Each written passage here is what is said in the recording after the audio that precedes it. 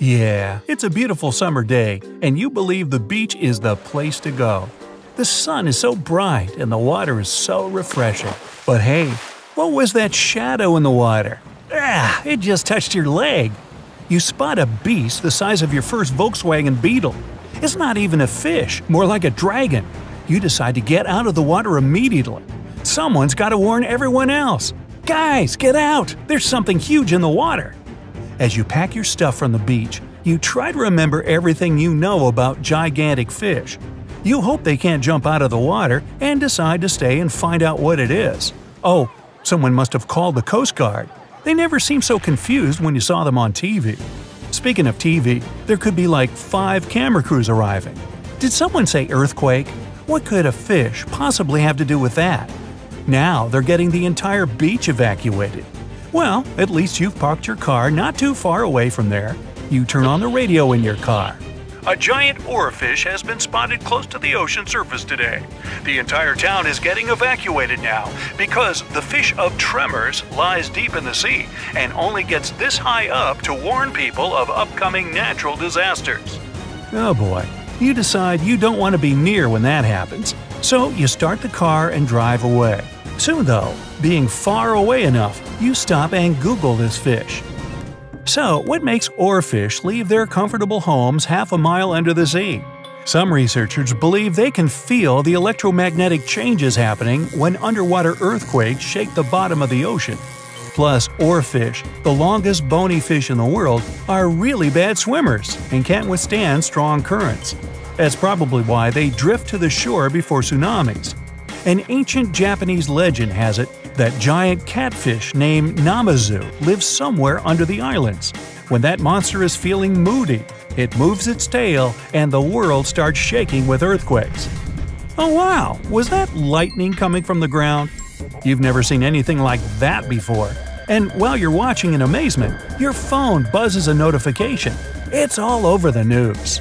Rare earthquake lights have just been spotted in coastal area. Hmm, they don't come out before every earthquake and take different colors and shapes. From short blue sparks to huge forks of light, they look as though some interstellar visitor decided to see how things are down on Earth. They can look like ball lightning that stays up from tens of seconds to minutes.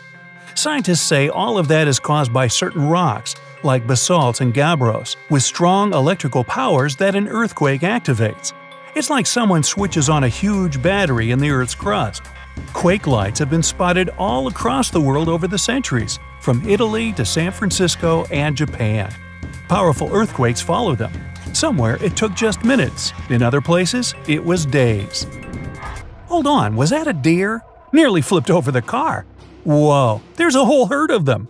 And all those low flying birds. They seem so lost and confused. Must be something in the magnetic fields that's messing up the flight. You remember from your biology class that animals and birds can sense earthquakes days in advance. Are those toads? They're hopping uphill from their pond. Must be too risky to stay there at the moment. And hey, cows are all laying down facing in the same direction. They do it for their own safety, not to fall down and break their legs during the quake. Scientists still can't explain what sensors help them know when it's time to leave or fall on the ground. Humans could have made really good use of those. Anyway, that's enough reasons to leave ASAP.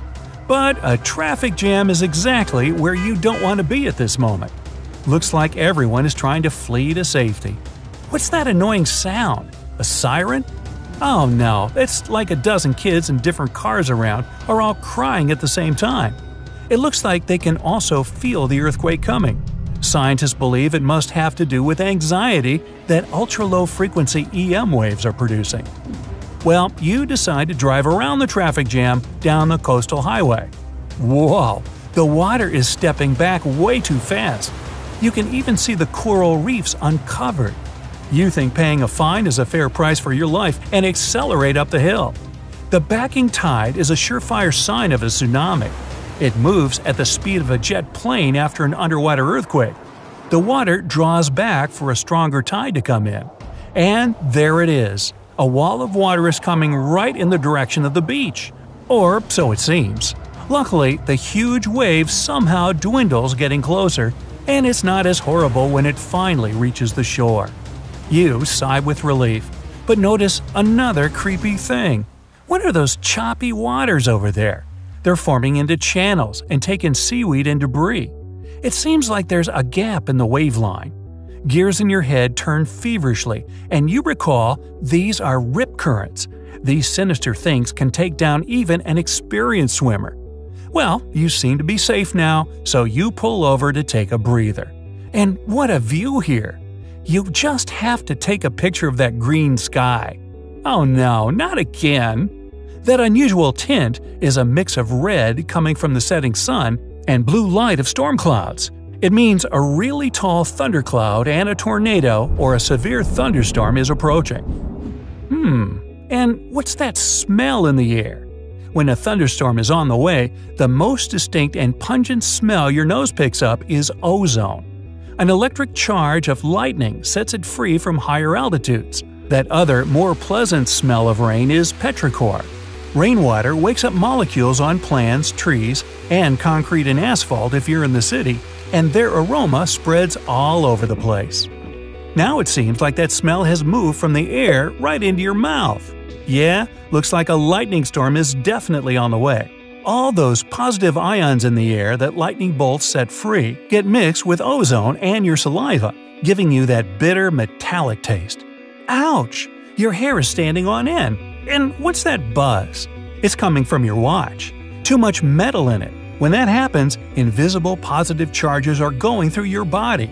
If you can't find shelter immediately, at least stay away from trees and other tall isolated objects. And you gotta keep driving to safety again. Whoa, what was that? You can't see anything. Who's throwing golf balls from the sky? Hail like this is often born in thunderstorms. Raindrops are carried into super cold and high areas of the atmosphere and freeze. To make it possible, the winds have to be really strong, so it often also means a tornado is approaching. And all those cute gold-wing warblers.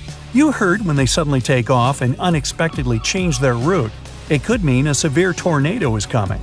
Scientists believe warblers can hear low-frequency infrasound the storms produce. Oh, could this day possibly get any worse? Oh thanks, bees, just what you like. They seem so excited about something.